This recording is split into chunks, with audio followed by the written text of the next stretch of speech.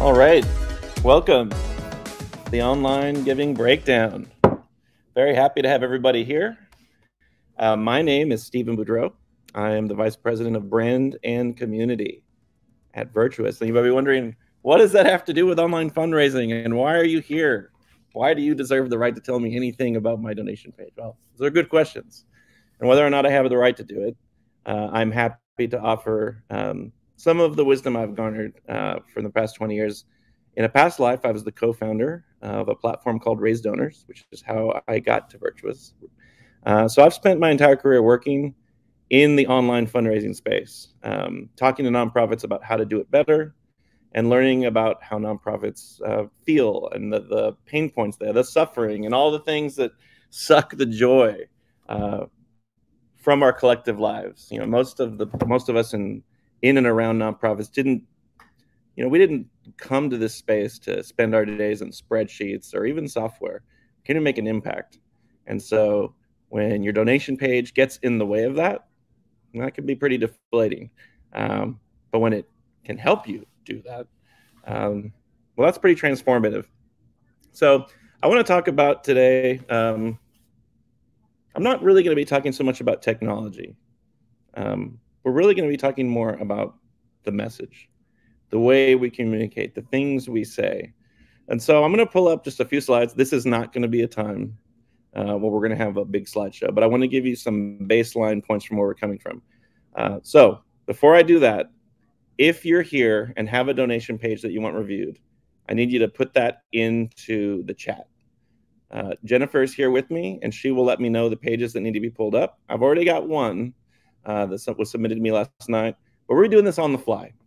Uh, so before we get going, I, I promised you a delightful slideshow, uh, and that's what we're going to do right now. So I'm going to pull that up, and we're just going to go through a few things because I think it's important to understand uh, a few things here. So one thing to get is that online giving is growing. Over the past three years, uh, it has grown by 42%, and as of last year, represents 12% of most nonprofits' income. Now, your organization might be 50%, 80%, it might be 1%, but the trend is going upward. So that's why all of this matters. Uh, the next thing I want you to understand, and the next two slides are probably the most important to understand like uh, what's going on, is that 98.6% of people who visit nonprofit websites do not make a donation. And the next one is the one that's gonna gonna rattle your bones. 83% of the people who visit donation pages leave without making a gift. So that means someone actually clicked your donate button and they went there and didn't do anything. So what does that tell us about people who arrive at our donation pages? Well, the important thing to realize is that people are when, when they go to your donation page, they're not they're not done. They're not it's not like, oh, we've got the donation. You know, they're not completely committed to seeing that through to the end. They still require convincing. One of the things we need to understand about donors is that they are inherently skeptical, almost like us as shoppers out in the world. When I when I see a commercial on TV, uh, because Burger King tells me that they're the king of hamburgers, I don't leave that commercial and go, "Well, I guess the king has been crowned and things are all settled." No, we we approach advertising, we approach messaging with skepticism. And so the thing that we need to understand is that our donation experience, our emails that we send out, our websites, everything we do, the way we answer the phone, the way we respond to, to emails. It's all a process. And so I think we should all embrace a culture of optimization. It's something we're trying to do more and more here at Virtuous. But, you know, what does it mean to optimize? So, uh, a lot of times we use the word optimization and we think, oh, well, there's just an optimization machine that we we throw our donation page in and out on the other end comes an optimized donation page. But that's not really the case because optimization is a process. So if you look at these two pages and I asked you, which one is optimized? What would you say? Like, is it the one on the left or is it the one on the right? Well, the truth is there's no way to know because optimization is a process. There's not like a, a badge that you put on your site that's like, hey, you're visiting an optimized page. And it never really ends. And so, same thing here. Uh, which car is optimized? Which dog is optimized? Well, actually, they're both good boys, so they're both optimized. But the idea I want you to understand is optimization is a process, and it's a process that, well, we'll get to that in a second. We're going to get to that in a second. So I can never do one of these talks without first sharing these words of wisdoms from Tom Northup, and that is that all organizations are perfectly designed to get the results they are now getting. That includes you, and that includes me. So if we want different results, we must change the way we do things. So right now, if your online giving is going up, if it's staying flat, it's going down, whatever it is, everything that you have been doing is perfectly designed to get the results you're now getting. So if you want to change what you're getting, it requires some courage. You know, it requires first the courage of saying, "Hey, maybe maybe we need to change some things." But then the next thing is like, "Well, what do we change and how do we do that?" And that is what the process of optimization really brings to us.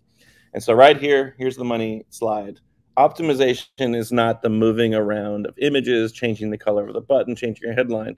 Really, it's about optimizing thought sequences. So as we look at donation pages today, I want you guys to see through that lens. Hey, what is the donor doing? What, how are they thinking? And so if you think about the journey that a donor goes on on your donation form, and really you can think about this on any journey that donors are doing with how they communicate with the organization holistically, with how a volunteer experience happens, with how a gala goes down, what we're doing is optimizing the way people think. And so what we want is as people go through this journey, we want them to hit a decision point, which is a friction point, and we want them to say yes. Because the moment we say no is when things go off the rails. So, for example, let's say I'm filling out the donation form, or I get to a page. Hey, I, I see a headline. Oh, that, that sounds good. I'm going to keep reading. Oh, look, there's an image. That's nice. I'm going to keep going. Okay, first name. Great. Last name. Great. Hey, what's your social security number? What? Like, that's friction. And I want you to think about it on a scale. As we look at donation forms, as you look at donation forms, we're we're going to be talking here for 40 minutes, but really the journey goes on forever.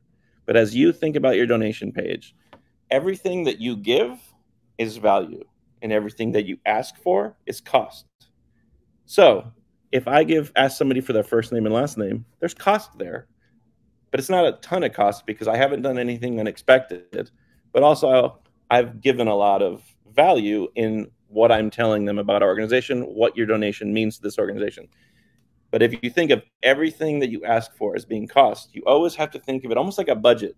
Like, hey, I, I have to outweigh the cost with value. Because the more value you provide, the better your opportunity it is that they will conclude with the big yes, the heck yes, where they fill out the form, they hit donate, and it's done. And one of the things that should be kind of philosophically in your mind as you think about online giving is that when I go to Amazon and I, I buy a new pair of Nikes, the reward for that transaction will occur in two days or three days, whenever at my front door I've got a shoebox. I'm like, oh, cool, I've got new shoes. But the donor experience is something much different because the moment that the thing that they're going to experience in the moment, and I don't mean like forever, I just mean in that moment, is happening as they fill out your form, as they read your value proposition, and they hit the donate button like that is that is the rush. That is the feeling that they are part of your community that they are making a dent for good in the world. So you have to be really thoughtful about this because we're not trafficking in the world of sneakers and sunglasses and shirts. We're talking about making a huge impact in the lives uh, of the people of the world. So i just want you to understand when i talk about optimization that's what i'm talking about.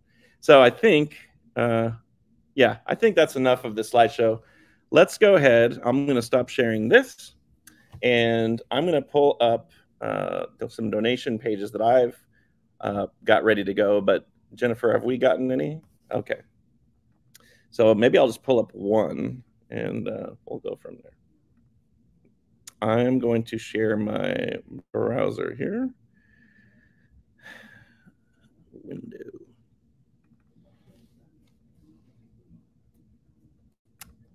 Okie dokie. So I've got one page here. I've got a few other tabs open, but we'll skip the other ones because those are ones I just prepped. So after we talked about the one that's on the screen here, let me go to my browser. Uh, we'll go on. So, uh, so here we got an organization called Crossroads Foundation. So um, right away, there are things that you can say are positive, and there are things that I could see immediately we want to change. And we haven't even looked at the actual form. We're just talking about what I see on the screen. One of the things that is really effective is being personal. You know, the more personal, the more you kind of connect what a donor and who a donor is supporting, what they're giving to, the better. So right away, this photo is clearly not a stock photo. These are real people. These are people that are impacted. And right away, you see support our scholars. However, I would say that the headline support our scholars is right away, it, it has an opportunity for us to uh, experiment. So one of the things I skipped in the slides is, is talking specifically about what makes a strong value proposition. And so for the purpose of this conversation, a value proposition is defined as why should I give to you rather than some other organization or at all? And so there's kind of four levers that we can pull when we talk about making a better value proposition. One is appeal. So how badly does your ideal donor want to give to your cause? Clarity. How quickly can they understand? Exclusivity. How can a donor make this impact with you versus someone else? Like, can I specifically give to these scholars? See, that's why the photo really helps. Because if I just said, hey, you can help people, you know, students at schools, oh, all right. But what about these specific students. And then lastly, credibility.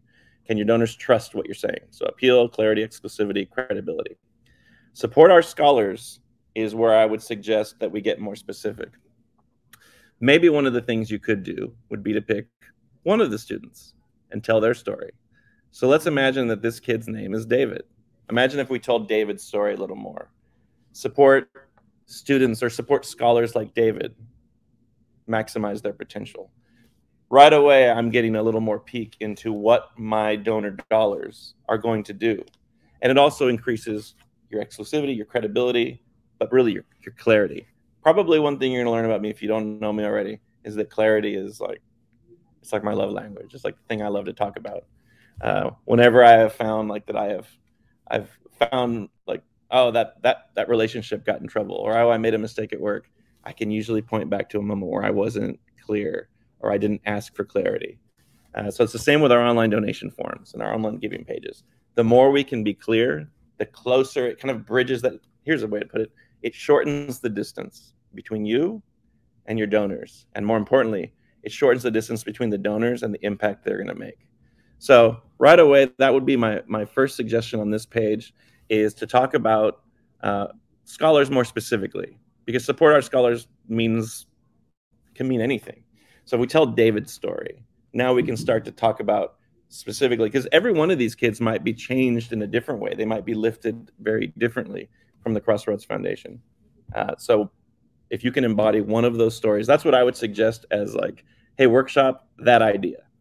Uh, as we go down this page, we've got these different giving levels, which I think is great. Uh, but also, we got to remember there's almost like this curse of knowledge that we live with.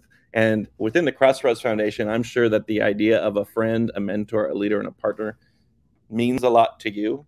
But as a donor, you're almost talking to me like a marketer. It's like I get that friend, mentor, leader, and partner are sort of academic terms, but maybe there's a better way to lead. Uh, lead with what the ten dollars a month can do.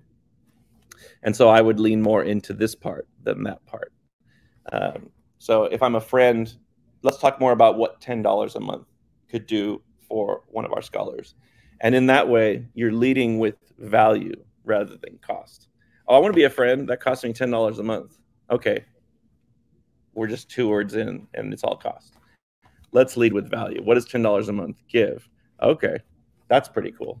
So I think that's enough for that page. Uh, I really appreciate you guys sending this page in. But already with those ideas, I think there's a lot that you could do. And remember, we're trying to optimize thought sequences. Um, I know we've got a whole form that we could look at down here, but really, when we start with the value proposition and we keep just trying to work that, you're going to see learnings. And hopefully, those learnings will lead to increases in giving.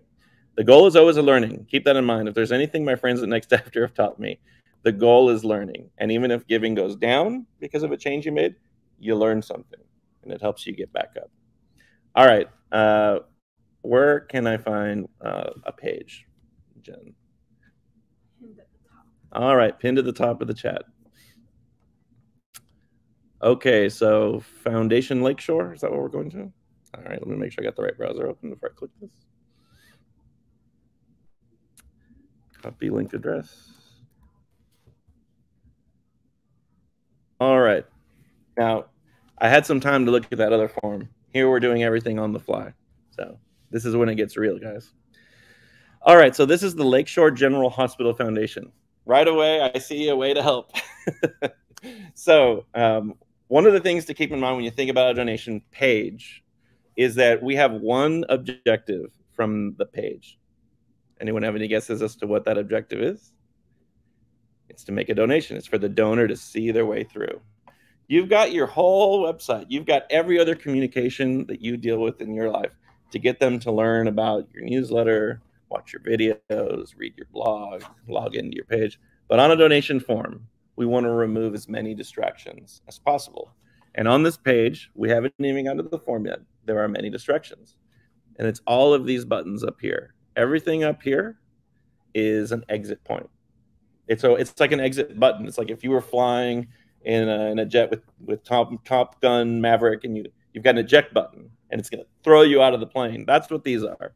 And so all of these, it's not like this information is not good, but it's counter to the point, to the objective, to the goal, which is to have someone complete their donation. So as we scroll down this page, right away we've got an image of a hand with a heart in it and the word donate. Then we have make a difference and support your lakeshore today. These are the first impressions. These are the first words that people are reading. We don't, well, you know what? Let me say what I'm about to say. I should have started with this. Everything that I'm telling you guys today, I'm coming with it 100% with a heart of humility. I may make suggestions that sound like didactic, fact, didactic facts. I'm only speaking from experience. Only you can learn about what your donors respond to and what they need and what makes them tick. So I'm going to give you best practices upon which you launch from. Some of the things that I've learned from other nonprofits may not apply to you, but there's only one way for you to know if they don't apply to you, and that's by testing. So what I'm about to say is just coming from experience. It's not a hey, you're doing a bad job. That's not the point at all. But think about this: donate, make a difference, and support your Lakeshore today. These are the first impressions. This is the first words. These are the first thoughts that I'm giving them uh, to process. Donate is is it's just kind of a wasted opportunity because it's just kind of it's cost right away. It's like donate, donate, give, give, give. Let's get to what really matters in the moment. So imagine if instead of all of this up here that we've seen on the screen, we immediately, when I hit donate, I go to an experience like this. And so make a difference and support your Lakeshore today. I like that you underline your because it's speaking to the donor, but it's also very, it's still, ironically, very organization centric. And when we're trying to appeal to the heart of the donor, when we're trying to kind of make an emotional connection, we want to speak to the impact of the donor. And so when we talk about your lakeshore, make a difference and support your lakeshore today, we might be better to try and experiment with something like your generous gift makes a difference for patients. Your kind of like what I was telling earlier. Maybe there's a story we can tell but we want to connect like this is how you are making a difference, not how Lakeshore is making a difference. They know that Lakeshore is the vehicle, the vessel through which they can make good happen in the world. Now is an opportunity for you to invite them to make an impact as well. So that would be a workshop. Workshop that idea, workshop that, just that title. Another thing to keep in mind is when you're optimizing, when you're experimenting, you can change your entire page if you want. But as you get going, and you want to run experiments, just change one thing, because otherwise you're not going to know what what worked, what really clicked with people. Um, so I'm going to give a lot of ideas here, but you might just take one and be like, "Well, let's try that." You know, let's see if Stephen has any good ideas, or he's just a lunatic. Um, so as we go down this page, let's read some of this together. Uh, thanks to the generosity of our donors, Lakeshore General Hospital is able to ensure patients have access to the highest quality of care close to home. So that's great. So we're talking about the generosity of our donors little things that you can do, little little mind optimizations, thanks to the generosity generosity of donors like you, kind of harkening back up here. Because what we want to do is we want them to feel a connection to impact, not necessarily your organization. You'll have plenty of time elsewhere to make that happen. And, and when I say elsewhere, I mean on this page. But right away, we want to draw them close to the cause, draw them close to the value and you know minimize the cost. Uh, so as we go down here, um, I have no issue. A lot of people talk about lots of content, little content, which is better. It might even be a question that's come up in the chat. I don't know.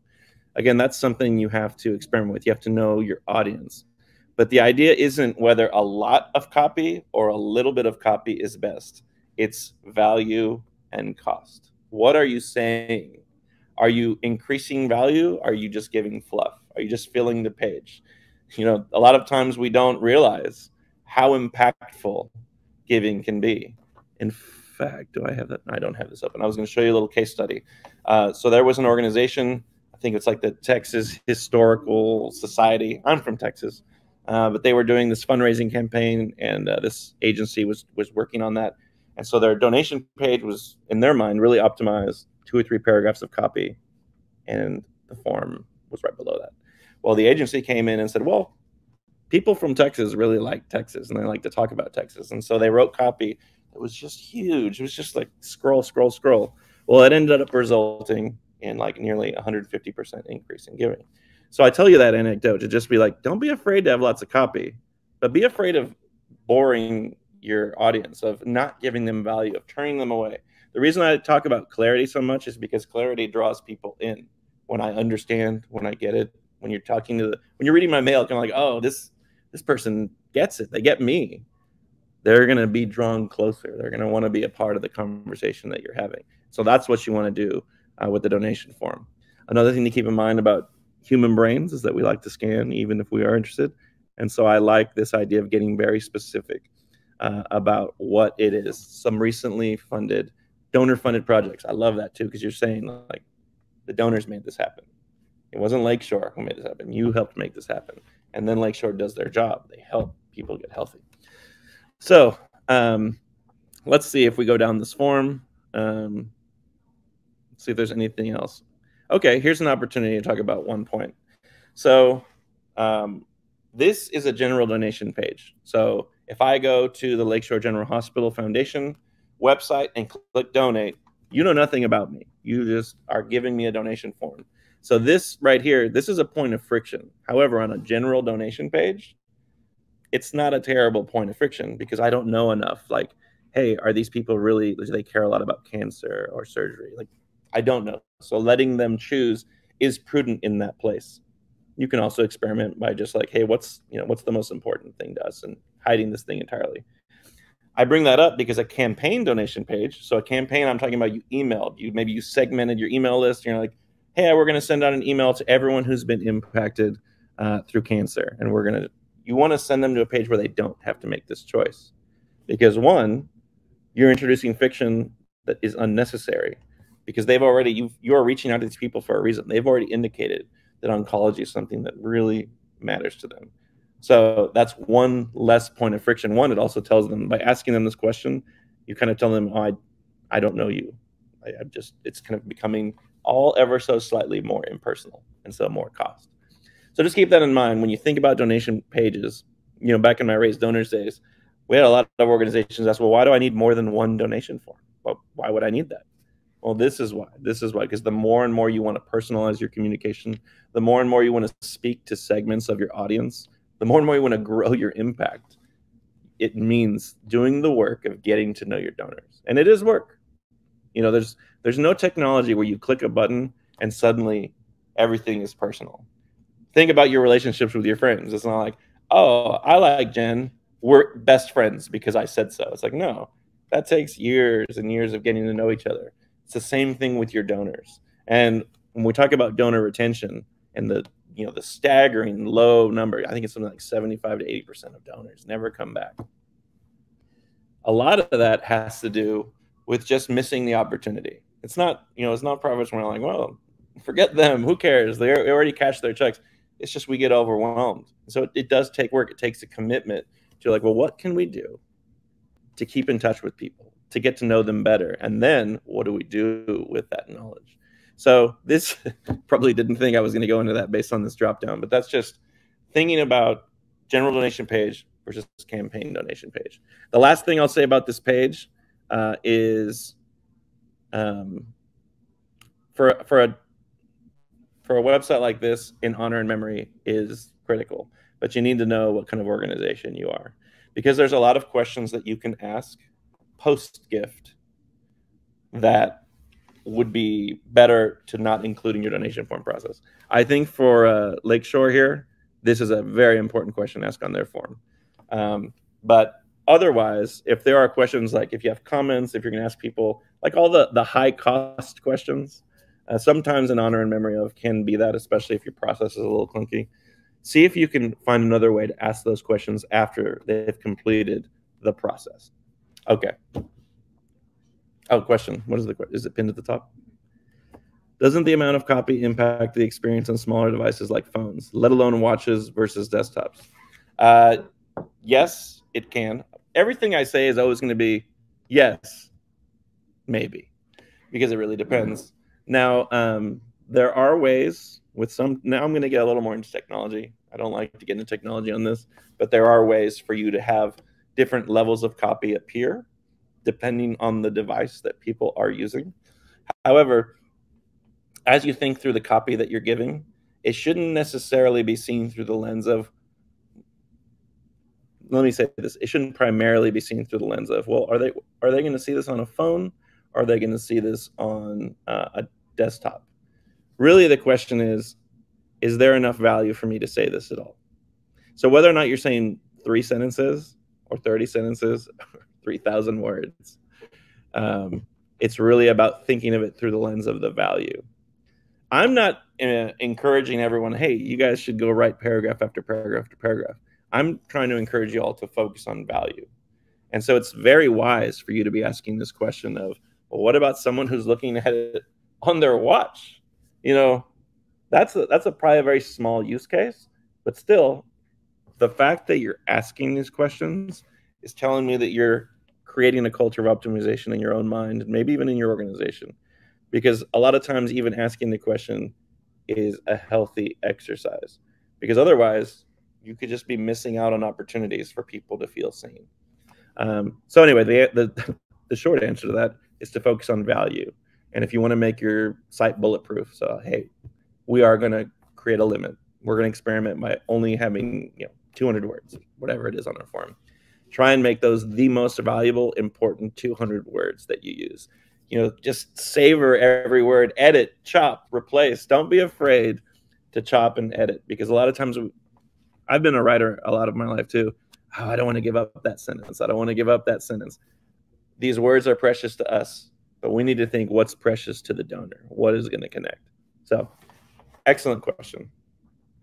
Um, good to go to the next page. Okay, uh, let me grab it here and bring it in. All right. So this is Santa's Anonymous. All right. So here's an interesting thing. We just talked about removing exit points. Up here we have this menu. Uh, this is kind of a nice way to have your cake and eat it too. Uh, it's still an eject button, but it is like there's work I have to do to go there. You're not just presenting me with the options to leave. You're like, hey, if you want to leave, click this button. So this is definitely uh, worth an experiment. Uh, another thing that's cool, uh, I, this kind of has the vibe of a stock photo. Um, but it's a very effective and sweet photo. Like it's very thoughtful. There, the Santa's Anonymous is trying to communicate something very clear. So you don't have to use a photo. I think using photos is very good and very strong because what we're trying to do is create an emotional connection. So the more we can tie the photo with our message, the better. But ha ha ha, there's a problem. What is our message? You know, it's down here. I've already initiated the process of friction. I've already initiated the process of cost. Before I even tell them that they can make a difference, I'm asking them how much money they want to give me. Does that make sense? So this is all about the optimization of the thought sequences. This isn't about uh, Santa's Anonymous, you're doing a bad job. No, it's about thinking through optimizing those thought sequences. So let's start here. You can make a difference. Awesome that is also um, unspecific. How can I make a difference? What kind of difference can I make? How am I going to help this kid or this kid? Like let's let's try and get a little more specific. You can make the Christmas of a child the best one they've ever had. You know, now we're getting a little more specific. Now I'm also like, oh, I want to do that. I want to be a part of that. You can make a difference isn't missing the mark. What it's doing is it's missing the opportunity.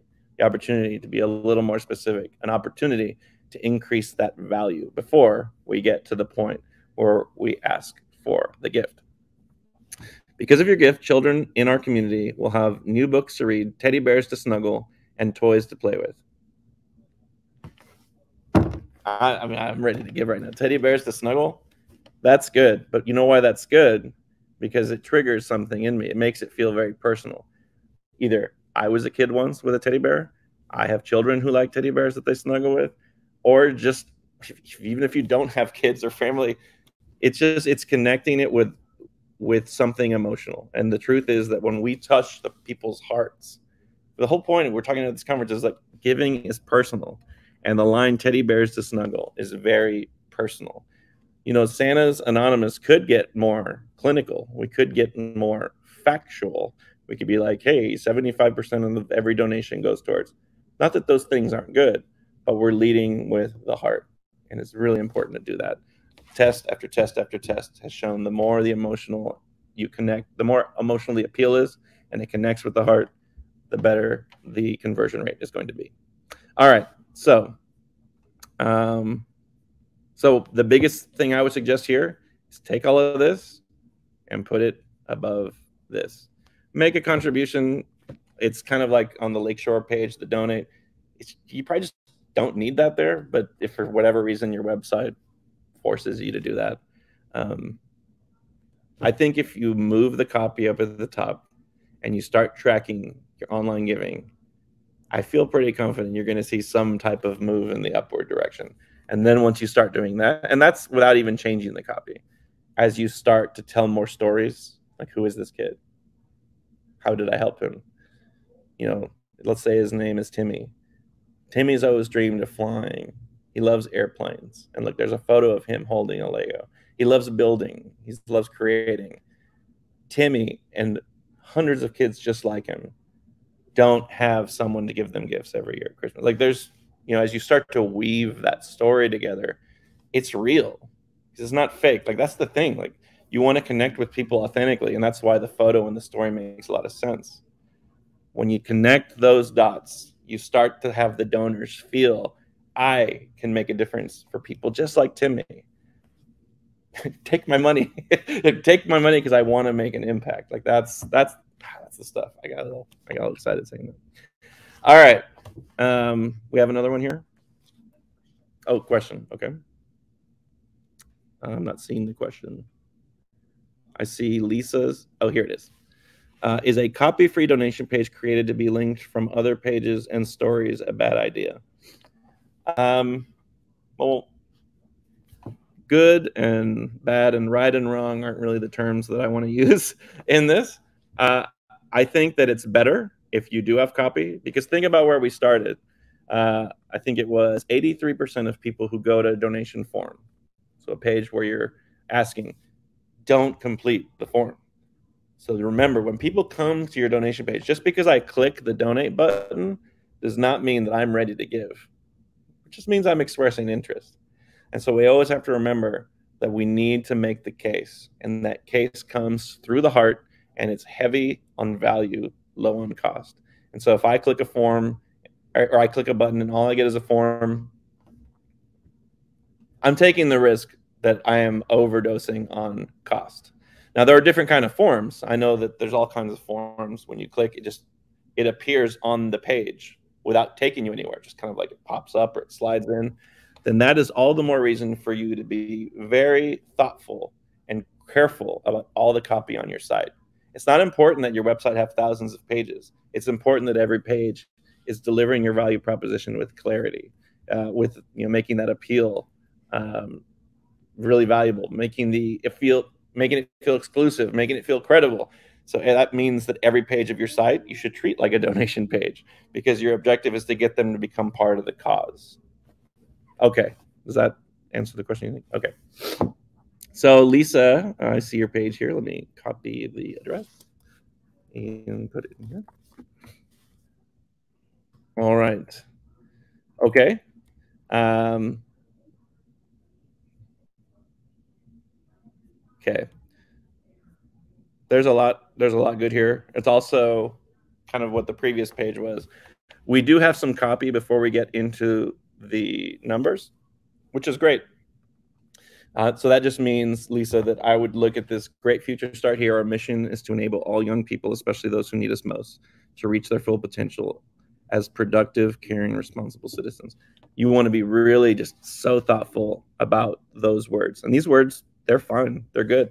But I do think that we're talking mostly about our mission. We're talking about the Boys and Girls Club of the PD area. Sorry, it's really small on my screen.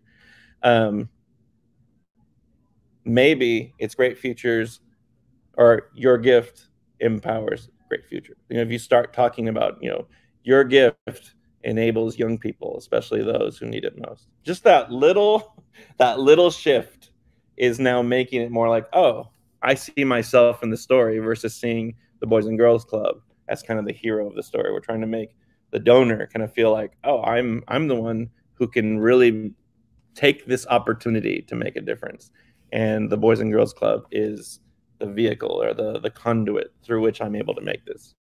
Um, so going down here, I don't have a problem with this being down here. It just leads me to ask the question, why is it down here? Why is it here at all? Like you you might just want to think about how this page is structured through that lens. If this is worth talking about, why am I tucking it beneath the place where they may not see it at all? Because if the point of this page is to get someone to click that button on this form, why is it down here? Now, looking at the stuff that's down here, I do like this over here.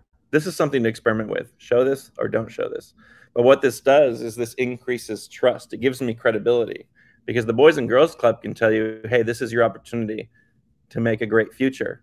But you know what? Charisse did it. South State Bank did it.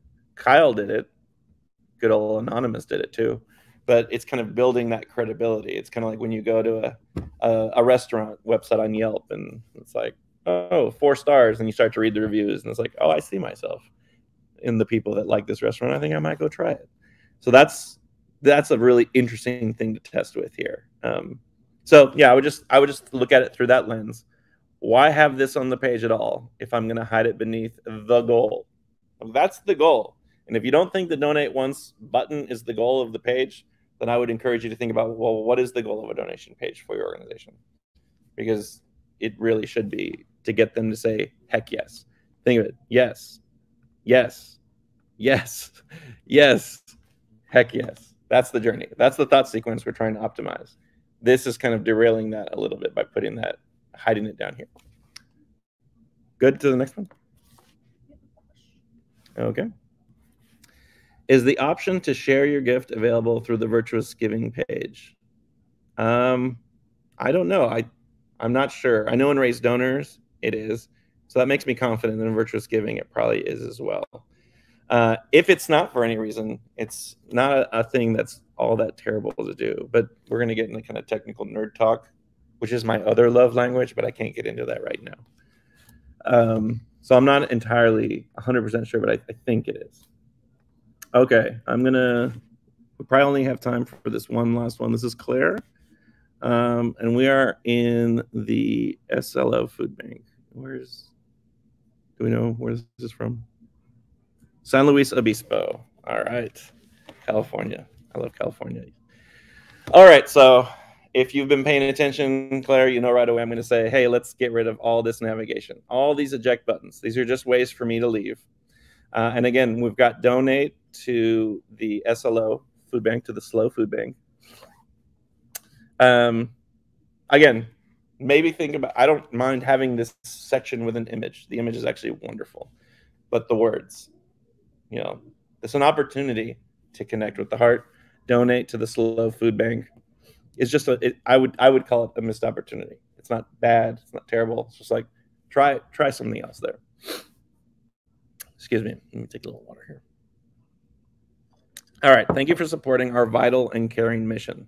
Okay. So, like the previous page, we were talking about, we're talking about the organization. Whose mission is vital? Ours. Who are we trying to talk to? The donors. We want to invite them to be a part of the mission. So thanking them for supporting it is indirectly, it's going, hey, thanks for supporting us. But who they're really supporting is her. So when we connect the dots between those stories, that's where you start to see uh, the heart being moved. You know, so let's say her name is Teresa. You know, thank you for supporting um, families and children like Teresa. Well, who's Teresa? Well, now I just gave you more homework. You gotta you gotta work on the story we're telling here. Because if we start seeing people start seeing that their money, whatever number they choose here, is going to impact her, then instead of that, I might do that. But you only learn that through experiments. Uh, here's one little. I haven't talked hardly any technical at all. Here is just um, something that I would recommend you experiment with. So if I look at this form, uh, well, let's get to that in just a second. If you can, it, it would be interesting to pre-select bank account versus credit card, only because so much more of the money that you raise goes to your organization when they pay by check versus credit card. I know that's not possible for everyone, and it's also maybe not convenient for everybody. But that is definitely an experiment worth running because, especially if they make a monthly gift, well, every single month you're getting more of the $100 that the donor is wanting to give to you. Uh, a campaign that sometimes some of the organizations I used to work with would run would be to try and convert monthly givers from credit card to bank account. So that's just like now that's kind of getting more nerdy. But again, um, just talking about connecting that story here. The only other thing I was going to say is, how did you hear about us? um, this is one of those questions that if you can move it to either the thank you page or just some other conversation that you're going to have with the donor, I would highly suggest it. Your birth month, your birthday. Again, this is all cost. This is all cost. I came here because I want to help her. And, and the further I get down here, I might start saying no. I might start saying no. I might start saying no. And all I have to do is hit that back button, and our conversation and opportunity is over. Okay, I see one question here before we wrap. Uh, Siri asks, is there a magic number for time or amount of visitors you use in terms of duration when running A/B testing? Uh, I I would defer that to um, a speaker we just had on Nathan Hill from NextAfter. There is a level that you need to reach in order for a test to be valid, and sometimes you may not have enough traffic on your website to validate that. However, I wouldn't say that you always have to be worried about hey is this test perfectly valid? Did we get a threshold of let's say 5000 visitors in a period of time? Um, whoever is going to your website is going to give you learnings. Sometimes those learnings are with a capital l and sometimes they're with just a little l. But you've got to do the best with the opportunity and the resources that you have if you're operating a high traffic website the test is going to validate itself pretty quickly but if you're smaller, if you're dealing with much less traffic, I would see the philosophy to be incremental gains. You're not trying to take your conversion rate from 5% to 50% overnight. You're just trying to see what is connecting, what is making people want to give. So if that's from 5 to 5.5%, whatever it is, the idea is to learn. Um, so sorry I can't give you the silver bullet answer to that question, but I appreciate everyone that came, everyone that asked questions. It's no small feat to put your donation page in front of people and be like, tell me what to make it better. That's not an easy thing to do. So thank you so much. From the bottom of my heart, I appreciate everything that you guys are doing to make this world a better place. You're the heroes, you're the champions. Thank you so much. I will see you next time.